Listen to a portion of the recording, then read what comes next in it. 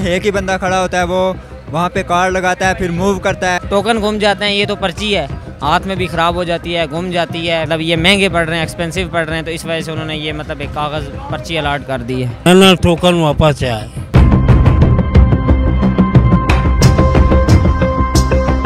जी अस्सलाम वालेकुम नाजरीन आप देख रहे हैं A S F E world TV we और मैं हूँ आपका मेज़बान राजा एहसन नाजरीन, इस वक्त हम यहाँ पे फैज़ाबाद के मकाम पे मौजूद हैं और मेरे बैक साइड पे आप देख रहे हैं मेट्रो स्टेशन।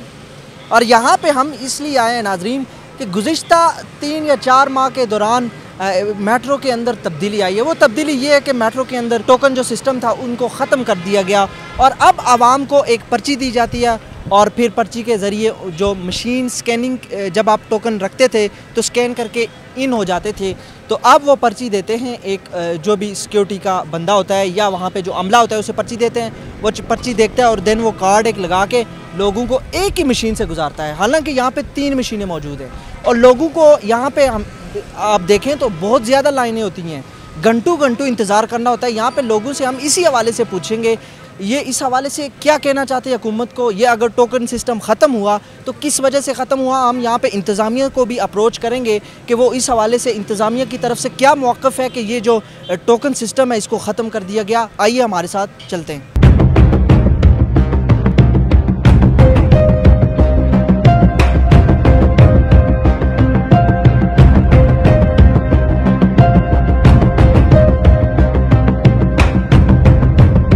अस्सलाम वालेकुम। वालेकुम अस्सलाम। नाम क्या है फ़हीम गिलानी। अच्छा माशाल्लाह मेट्रो पे सफ़र जी हाँ करते हैं। अच्छा क्या करते हैं आप? मैं जॉब करता हूँ। तो मेट्रो पे आप सफ़र करते हैं टोकन आपको पता है तीन चार माह से ख़त्म हो चुके हैं ये टोकन सिस्टम जो था उसको ख़त्म कर दिया गया मेट्रो की जानब से। तो आप मुझे बताइए जो आप पर्ची लेते हैं पर्ची लेने के बाद किस तरह की मुश्किल आपको फेस करनी पड़ती? है अच्छा मुश्किल तो ओबियसली आपको पता है, पहले पर्ची हम लेते थे टोकन लेते थे तो तीन वो होते थे गुजरने के लिए। अब ऐसा है कि एक ही बंदा खड़ा होता है, वो वहाँ पे कार्ड लगाता है, फिर मूव करता है, ऐसे गुजरते गुजरते मतलब अगर पहले आपके 10 मिनट लगते थे तो अब आपके कम से कम 20 मिनट लगते हैं। तो ऐसा है कि एक तो आपको पता है, गर्मी कितनी ज़्यादा है तो ओबियसली लोग थके हारे आते हैं, सफ़र करके कोई कश्मीर से आता है, कोई कहाँ से आता है तो उनको रुकना पड़ता है। हाँ जी हाँ बहुत सारे लोग लेट हो जाते हैं स्कूल में जाने के लिए बच्चे जा रहे होते हैं। मोस्टली इस तरह के लोग जो मतलब जॉब्स करते हैं वो वो लोग ट्रैवल करते हैं मेट्रो पे। तो ये है कि मुश्किल तो हैं मतलब अगर अगर आपने पर्ची ख़त्म किया टोकन ख़त्म किया तो आपको एटलीस्ट तीन चार जो वो जो गुजरने का रास्ता बना हुआ है तीन चार बंदे खड़े करने चाहिए जो रास्ता मतलब उसको करें वो उसको क्या रोटेट करें हाँ पास आउट करें ताकि वहाँ से लोग गुजर सकें। तो आप मुझे बताएँ हुकूमत से क्या अपील करेंगे इस हवाले अपील तो निज़ाम ठीक है मेट्रो का? निज़ाम तो एक तो आपको पता है कि मेट्रो पे आपने सफ़र, आपने भी किया होगा। इतनी रश होती है कि लोग खड़े होकर जा रहे होते हैं। इतनी गर्मी में लोग एक दूसरे के ऊपर मतलब इतनी सफोकेशन होती है ना, अगर कभी आप मेट्रो पे सफ़र करें तो आपको अंदाज़ा हो जाएगा। तो ये है कि या तो मेट्रो, जो बसेज़ हैं, उनकी तादाद बढ़ाई जाए। साथ में ये है कि अगर आप इन टोकन का सिस्टम आपने ख़त्म कर दिया तो ऐसा करें दो तीन बंदे एक्स्ट्रा खड़ा कर दें जो मतलब अमला थोड़ा एक्स्ट्रा हाँ अमला एक्स्ट्रा कर दें ताकि जो लोगों की मुश्किल हैं उसमें कमी आ जाए। मेट्रो पे सफ़र करते हैं? जी ज़रूर आए दो आए रोज़ सफ़र करते हैं। क्या करते हैं आप? मैं इलेक्ट्रिकल इंजीनियर हूँ और सोलर का काम करता हूँ सोलर क्या मुश्किल अभी तक फेस करनी पड़ रही किस बारे में? मतलब जब टोकन ख़त्म हो जब से टोकन ये काफ़ी मुश्किल हैं एक ही है कि मेट्रो में आपको पता है सब गरीब आवाम होती है और मतलब काम कारोबारी लोग होते हैं सारे के मज़दूर तक पा और खप बहुत होती है। टोकन घूम जाते हैं ये तो पर्ची है। हाथ में भी ख़राब हो जाती है घूम जाती है फिर निकलने के लिए इन्होंने मतलब वो एक बनाया हुआ है कि इतना जुर्माना होगा। ये काफ़ी टोकन बहुत अच्छा था वो मतलब घूमता भी नहीं था और उसके बंदा संभालता भी था। ये पर्चियाँ भी घूम जाती हैं और उसके बाद पर्चियों नहीं होनी चाहिए। मतलब इससे काफ़ी मतलब ज़लालत होती है बंदे को। हुकूमत को हम ये अपील करते हैं कि वापस उसी टोकन और वही कार्ड होने चाहिए जो पहले शुरू शुरू में टोकन दिए गए थे जो होते चलते थे। पता करने की कोशिश की कि टोकन क्यों ख़त्म?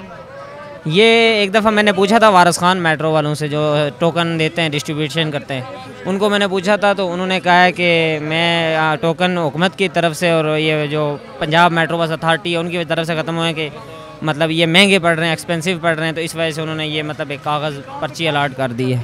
ठीक है पर्ची मतलब पर्ची में का, खर्चा कम खर्चा कम आता है। जी नाजरीन यहाँ पे एक और शहरी हैं मेट्रो पे सफ़र करके आए हैं और यहाँ के यहाँ मेट्रो के अंदर क्या मुश्किल है और टोकन सिस्टम ख़त्म हो चुका है। उसके बाद शहरियों को क्या मुश्किल है इनसे जानते हैं। अस्सलाम वालेकुम। अस्सलाम वालेकुम। अच्छा मुझे ये बताएँ किधर से सफ़र करके आए हैं? मेट्रो आइनन से। आई नाइन से किधर आए हाँ फैजाबाद में उतर गए तो मुझे ये बताएँ कि टोकन ख़त्म हो गया है पर्ची दे रहे हैं आप तो क्या मु- क्या मुश्किल है इस हवाले बस मुश्किल है बहुत।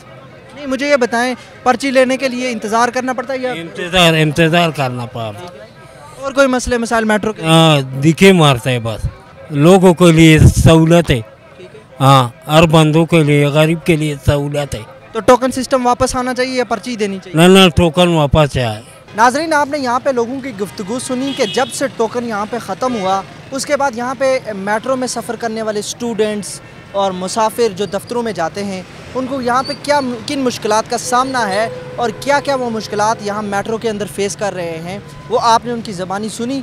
और हुकूमत से भी यही अपील है कि अगर मेट्रो के अंदर जो टोकन सिस्टम था तो उनके हवाले से वो जो टोकन सिस्टम था, उसको दोबारा बहाल किया जाए ताकि जो मुसाफिर हैं उनके लिए आसानी पैदा हो जाए, जो लंबी लंबी कतारें लगती हैं, उनसे वो बच जाएँगे, उनका टाइम बच जाएगा, जो स्टूडेंट्स हैं वो वक्त पे स्कूल पहुँच जाएँगे।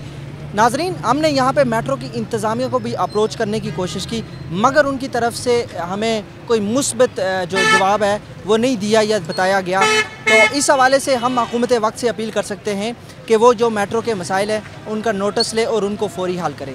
अपने मेज़बान राजा हसन को इजाज़त दीजिएगा, इंशाल्लाह नेक्स्ट किसी और टॉपिक में, किसी और मिसाइल के साथ, किसी और इशू के साथ आपकी खिदमत में हाजिर हूँ अपना ख्याल रखिएगा। खुदा हाफिज़।